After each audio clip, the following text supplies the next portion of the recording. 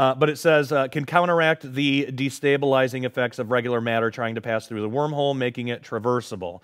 Uh, so if you put negative mass in with this, or, or, probably more specifically ne- negative gravity, but uh, but that might just be in terms of black holes. If you if you involve some type of negative force to counteract the devastating forces of the wormhole or the black hole, then yeah, it could be traversable. Uh, there, there have been theories put out that uh, the the rotation. Again, remember a black hole is a sphere. A black hole isn't just like a two dimensional hole that's just there. It, it, it is a sphere, and it does have a spin. It does have a rotation. There's there are ideas that if the rotation was strong enough, if the centrifugal force was strong enough in that rotation, it would counteract the extreme gravity, and then you could traverse the black hole or the wormhole, uh, depending what you're talking about, uh, you know, with that. But uh, so there are already ideas about this, um, and that that that's not the same as negative gravity. That that's just a different type of force. Centrifugal force is just a different type of force that can counteract gravity. That's why the moon is where it is uh, in orbit. That's why it doesn't come crashing into the Earth, but it doesn't go flying out into space either. It's what's called equilibrium. You know, the, the centrifugal force is uh, pushing the moon out, but the gravity from the Earth and the moon are, are pulling, pulling it in.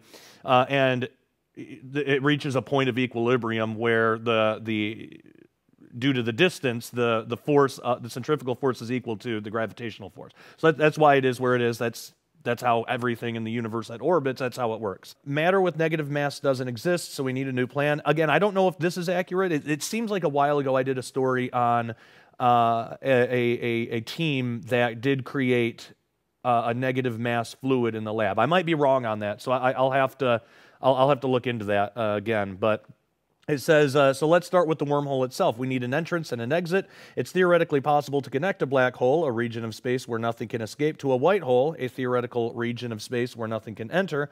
When these two odd creatures join together, they form a brand new thing, a wormhole. So you can jump into either end of this tunnel, and instead of getting crushed into oblivion, you just harmlessly uh, waltz out the other side. Uh, but white holes don't exist either. Man, this is getting tricky. See, they, they, they again, this is this is a publication that does try to kind of dumb things down for average readers, which is fine. There's nothing wrong with that, but it's not accurate to say white holes don't exist. We don't know if they exist. Um, the mathematics that say black holes exist, they work for white holes too, and we know black holes exist. We've detected them. We even took a very blurry picture of one of them. Uh, we know black holes exist. That's that's that's been proven. Uh, the mathematics that predicted black holes also predict white holes. We haven't observed one. We, we, we have nothing beyond the mathematics to, to suggest it, but there is evidence that it could exist. Doesn't mean it does. Uh, as far as we know, they don't, but as far as we know, they don't. They, very, they still very well could. They are possible.